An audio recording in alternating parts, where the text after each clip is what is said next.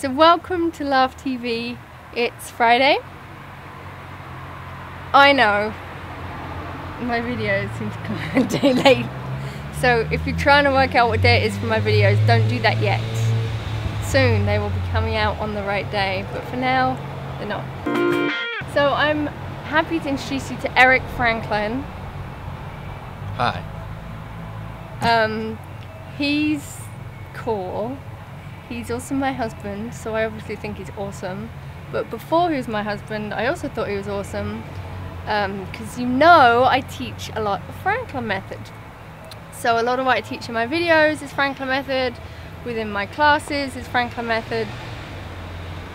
You came up with it, right? That's right.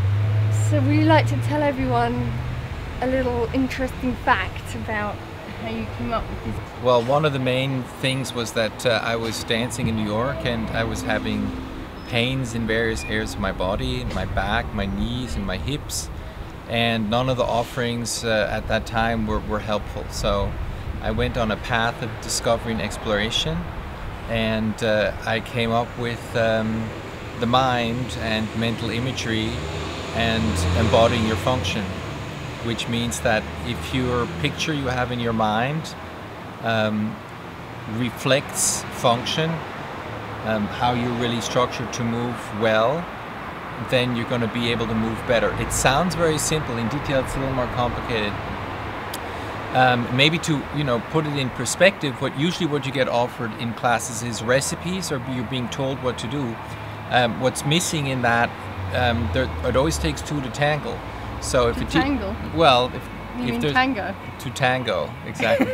so if a teacher tells you what to do based Mm-hmm. on his knowledge of what worked for him, Right. it may you know hit miss work for you, but most likely it will not. The teacher has to factor in where you're coming from, your structure, your embodiment, and so forth. So this method was developed.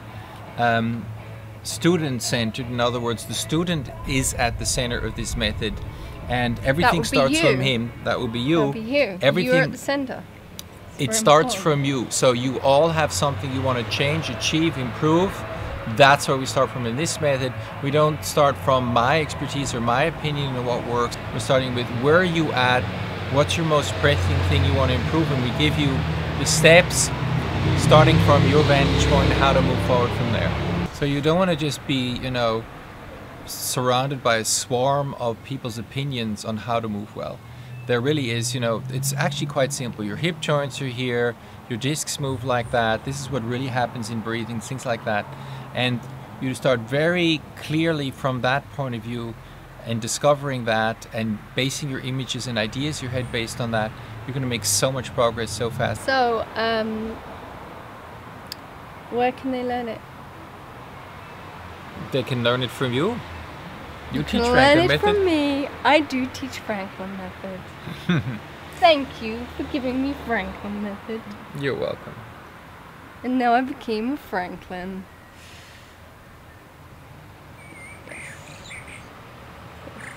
Yes. Yes. Yes. Okay, dinner time. Thanks for watching. Sign up, subscribe, like it, love it, share it. And we'll see you soon. Bye.